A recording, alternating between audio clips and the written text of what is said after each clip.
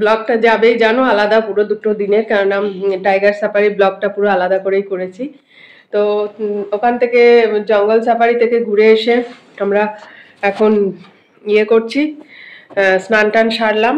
আমাদের রাস্তায় গাড়িটা খারাপ হয়ে গিয়েছিল, ও একটুখানি, সুতরাং আসতে একটু দেরি হয়ে গেল। তো চান টান সেরে, খুব ক্লান্ত লাগছিল, একটুখানি শুয়ে নিয়ে স্নান টান সেরে।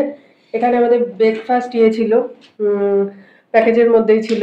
তো ব্রেকফাস্ট যদিও দেরি হয়ে গেছে বারোটা বেজে গেছে তো ওরা ব্রেকফাস্টটা দিয়েছে। তো এই ব্রেকফাস্টটাই করছি। লাঞ্চের আর দরকার হবে না। ব্রেকফাস্টটা করে এবার দুটো নাগাদ আর দুটো নাগাদ আমরা বেরোবো সাইট সিন দেখতে। তো ব্রেকফাস্টে কি আছে দেখিয়ে দিই তোমাদের যেটা আজকে আমাদের লাঞ্চও ফার্স্ট লাঞ্চ দুটোই। আমি আমি বলব আমি হলো এটা আছে দই।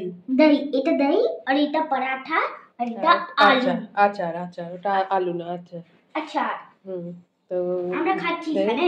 বাবুর জন্য দুটো সুগারের ইয়ে নিয়ে এলাম কেননা ওর দইয়ের মধ্যে একটু সুগার দিয়ে দিলে পুরো দইটা খাবে দইটা খাওয়াও এখন দরকার।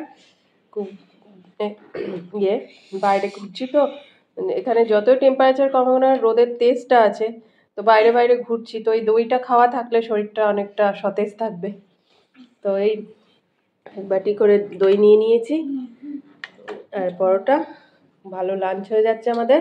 এবার আমরা বেরোবো।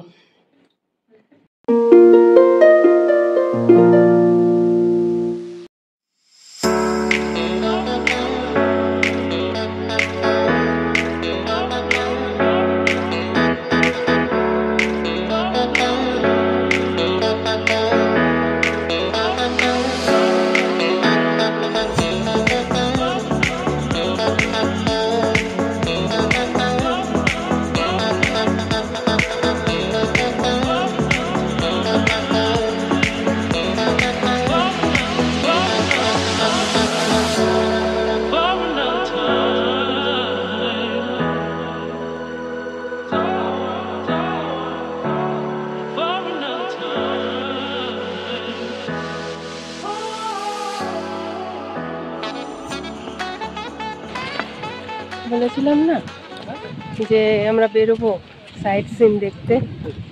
তো এসেছি এখানে সাইট সিন দেখতে। এটা কি? কি এটা ওয়াটার ফলস জঙ্গলের ভেতর। চলো তোমাদের সাথে শেয়ার করি।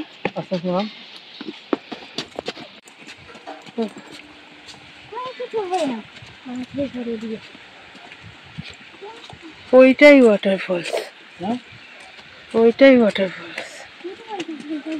না মাছলে ধরে দিয়ে ওইটাই ওয়াটার ফলস ওইটাই ওয়াটার ফলস এতগুলো এইটা দেখতে লোক এসছে এতগুলো লোক।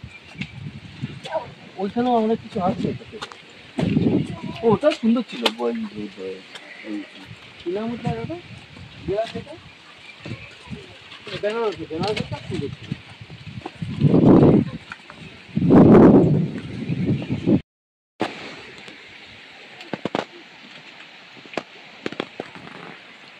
এই যে জল ওইখান থেকে আসছে, ওইখানে ইয়ে হয়েছে। কিন্তু সবচাইতে সুন্দর লাগছে এখানে গাছ দেখে। এত গাছ এত গাছ, ভীষণ ভালো লাগছে।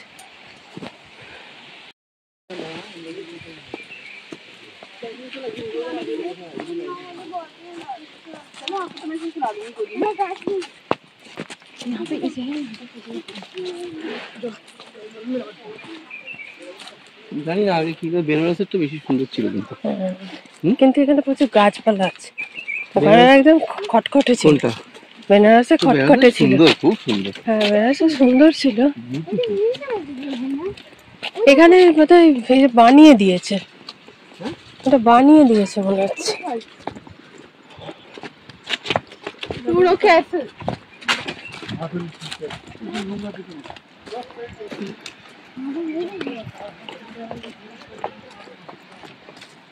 রাস্তাটা খুব এবড়ো খেবড়ো, পাথুরে। কিন্তু জঙ্গলের ভেতর দিয়ে হাঁটতে যে কি ভালো লাগছে, কি বলব?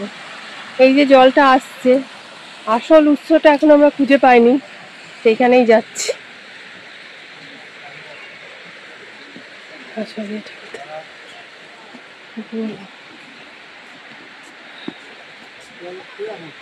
এইটা দিয়ে যেতে হবে। হ্যাঁ? এইটা দিয়ে যেতে হবে। এটা দিয়ে যেতে হবে। এই জায়গাটার উপর দিয়ে হেঁটে যেতে ভয় করছে।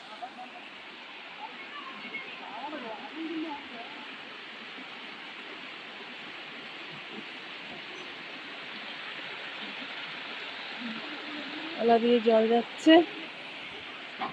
আসছে জলটা কোথার থেকে?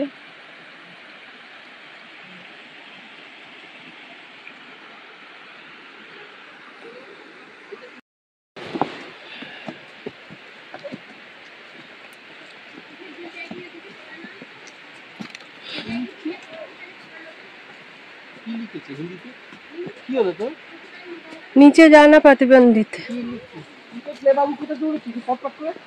জানিস এভাবে কি তুমি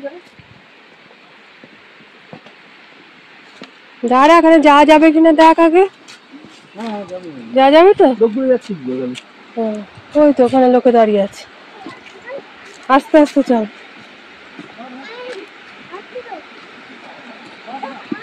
আরামসে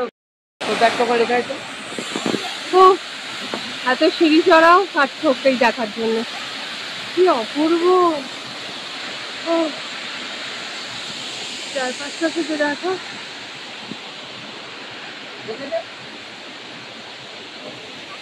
চারপাশটা গাছ দিয়ে ঘেরা। আর তার মধ্যে এইরকম একটা জল পড়ছে। যেটা বয়ে যাচ্ছে এখান দিয়ে।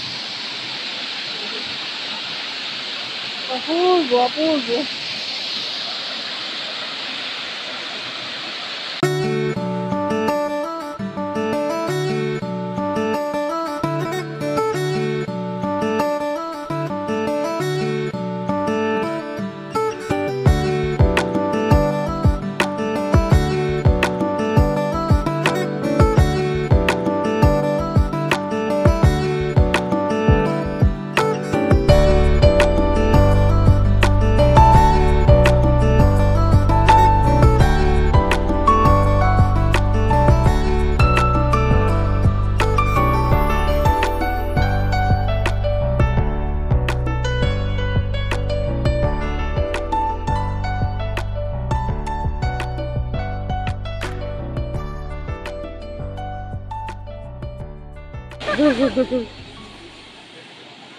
এখানে এই বাচ্চাটি বাবুকে দেখে ভীষণ উৎফুল্ল হয়ে গিয়েছিল।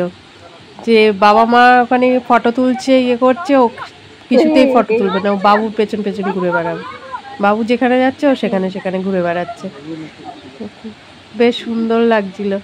ও বাবুর পেছন পেছন, পেছনই ছাড়ছে না। বাবু এখানে আমার পাশে বসেছিল। ও বাবা মাকে ছেড়ে কুটকুট করতে করতে চলে এসেছে আমাদের কাছে।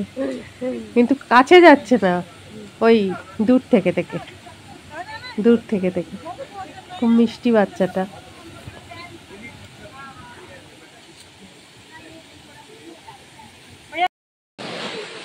আমরা এখানে এসে বসেই আছি। অনেক মানে এক ঘণ্টার টিকিট কাটা হয়েছে। চলে যাব একটু পরে। বসে আছি, ভালো লাগছে। জায়গাটা ছেড়ে যেতে ইচ্ছে করছে না মধ্যে ঠিক করে বসেই থাকি। কিন্তু আমার মাথারও খুব যন্ত্রণা করছে। আজকে সকালবেলায় মানে ইয়ে থেকে আসার সময় মাথায় এত রোদ লেগে গেছে, মাথার পেছনে ভীষণ যন্ত্রণা করছে মাথাটা। ওই জন্য একটুখানি অস্বস্তি হচ্ছে। কিন্তু মানে গাছের ইয়ের পরিবেশটা এত ভালো গাছটা, গাছগুলো থেকে টুপ টুপ টুপ করে সমানে জল পড়ে যাচ্ছে। এটা ওয়াটার ফলসের জন্যই বোধহয় একটা বাষ্প ইয়ে হচ্ছে তার জন্য তো খুব সুন্দর লাগছে। বসে আছি এখানে। লোক এক এক করে ভিড় হচ্ছে নানা রকমের লোক আসছে তারা ছবি তুলছে সেসব দেখছি।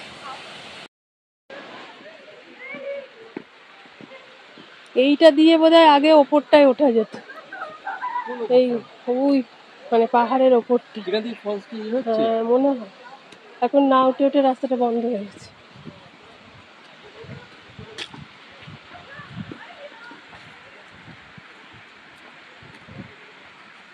এবারে আমাদের যেখানে নিয়ে যাবেন, ওই গাড়ির যিনি আমাদের নিয়ে এসেছেন গাড়িতে করে, তিনি যেখানে নিয়ে যাবেন সেটা হচ্ছে গিরিজা দেবী মন্দির। এখানে কোশি নদীর ওপরে একটা সেতু আছে, সেতু পেরিয়ে এখানে ছোট একটা পাহাড়ের উপরে একদম ইয়েতে মানে সেরাবালি মার একটা মন্দির আছে, যেটা গিরিজা দেবী মন্দির নামে পরিচিত, এখানকার খুব প্রসিদ্ধ মন্দির। একদম পাহাড়ের উপরে, খাড়া খাড়া খাড়া করে সিঁড়ি কেটে কেটে করা মন্দিরটা। তার সাথে নিচে একটা কাল ভৈরবের মন্দির আছে। তার গাড়ি থেকে নেবে পুজো দেবো বলে পুজোর জিনিসপত্র কিনেছিলাম। তো আমার এত পাগলের মতো মাথা যন্ত্রণা করছিল আর মন্দিরটায় সিঁড়িতে এত ভিড় ছিল, আমি তো সন্দীপনকে বললাম, আমি উঠতে পারব না। সরু সিঁড়ি, ভিড়। তখন সন্দীপন বলল, ঠিক আছে, আগে একটু চা খা তুই। তো চাটা খেয়ে যখন নিচে ওই ভালো নিচে কালভৈরবের মন্দিরেই পুজো দিয়ে চলে যায় বলে মন্দিরটার সামনে গিয়েছি সিঁড়িটা থেকে অদ্ভুত একটা আমার মাইন্ডটা পুরো ঘুরে গেল। সিঁড়িটা ফাঁকা পুরো ফাঁকা ছিল তখন। মনে হলো উঠে চলে যায়। কিছু না ভেবে সেকেন্ডের মধ্যে সিঁড়ি দিয়ে উঠতে শুরু করে দিয়েছি। সন্দীপ কোনো হকচকিয়ে গেছে? বলছে, তুই যাবি না বললি আবার সিঁড়ি দিয়ে। ভীষণ খাড়াই ছিল সিঁড়িগুলো আর আমার সিঁড়ি দিয়ে ওঠানামা করতে খুব কষ্ট হয়। কিন্তু কি মনে শক্তি এলো হঠাৎ করে কে জানে? সোজা গিয়ে মার কাছে পুজো দিয়ে এলাম। একটা মনে তৃপ্তি পেলাম। যাই হোক মা চেয়েছিলেন পুজোটা নিতে। তা এই সময় মানে এত মাথা যন্ত্রণা করছিল আমি ভালো করে ভিডিও তুলতে পারিনি। তো আজকের ঘোরাঘুরি এই ছিল খুব ক্লান্ত হয়ে গিয়েছিলাম। সারাদিন ঘোরাঘুরি রেস্ট হয়নি সেরকম।